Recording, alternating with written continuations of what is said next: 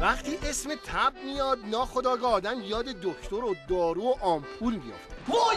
بعد که یکم دیگه فکر می‌کنی می‌بینی ای بابا تب که فقط این نیست که الان خیلی چیزا هست تو جامعه بهش میگن تب.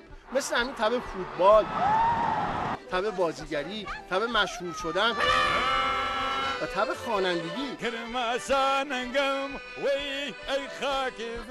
اما این روزها یه تبی دیگه هم هست تو جامعه که داره خیلی داغ میشه. الان تب چی بالایه تب چی تو بالایه حالا این تب انتخابات بین مردم چند جور دیده میشه. یه عده هستن هر جا گیرشون بیاد بحث انتخاباتی می‌کنن از وسط خیابون گرفته. همه ایرانی آقا سلامت خط کن.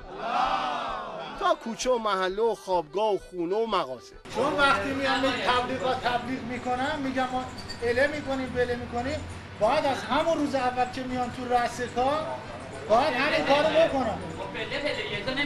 یه عدم هستن اصلا این تب انتخاباتی رو بروز نمیدن. من هیچ نظری ندارم. برخی هم انگار درجه تبشون این تبلیغات نامزدها بس شد. دیروز چهار ساعت پنج ساعت نشستیم پای تلویزیون. اونقدر پیگیر مباحث انتخاباتی هن که حالا برای خودشون شدن یه پا کارشناس. شرکت تاونی های قدیم رو دوباره را بندازن. یعنی تو هر زمینی نظر میدن.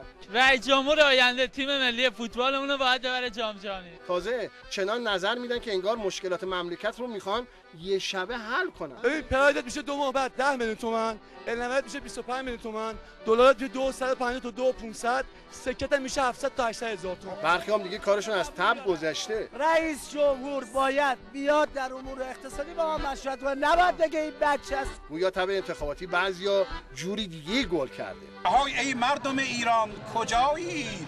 زمان رأی گیری شد بیایی. بیایید ای خلایق از چپ و راست که میهن باز نیاز حضور شما ها خلاصه از مردم پرسیدیم